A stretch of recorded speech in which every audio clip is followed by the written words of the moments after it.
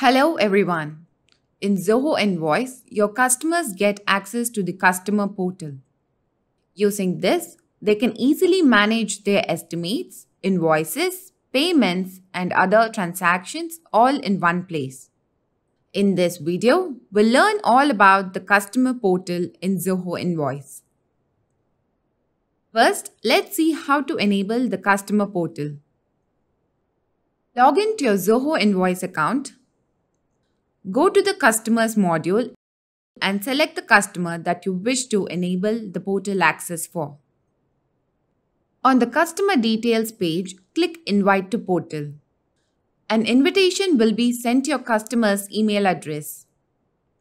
Your customer can accept or reject the invitation. For this video, let's say that your customer chooses to accept the invitation. To complete the process, set up the login password. Your customer has successfully logged into the portal. Now let's configure the customer portal. You would first need to decide on the level of access you give to your customers. To configure the customer portal, click the gear icon at the top right corner, select Preferences and click Customer Portal. You can now configure the settings for the customer portal. The portal name is auto-generated.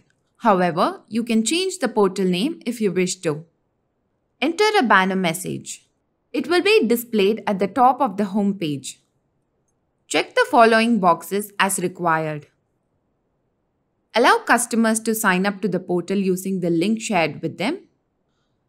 Receive notifications about your customer's portal activity. Email notification to customers when you add comments. Allow customers to edit their basic details such as their address and display name. Allow customers to forward documents from the portal. Request for customer reviews. Allow your customers to view certain project related information in the portal. After this, click Save to confirm the action. You have successfully configured the customer portal in your organization. Let's look into the various functions that can be performed on the customer portal. The home page gives an overview of the payments made, credits available, customer profile, and documents shared. The customer can have a look at this page and make business decisions accordingly. Under Estimates, your customers can accept, decline, download, forward, print estimates, and add further information or interact in real time in the comments box. Under Invoices, your customers can forward, print, download as PDF, and choose to pay for invoices online.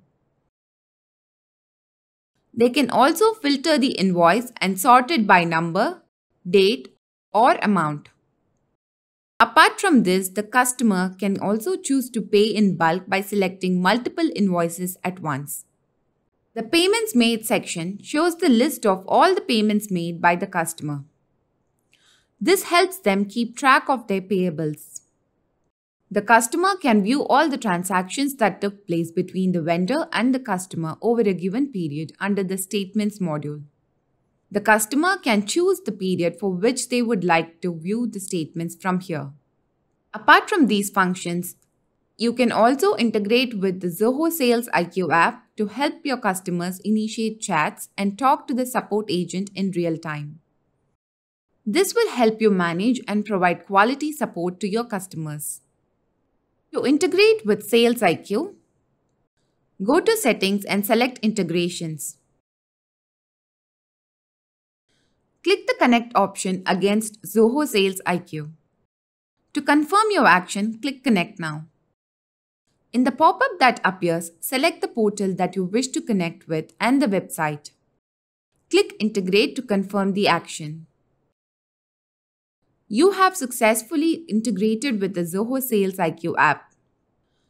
Your customers can now view the chat widget in the customer portal.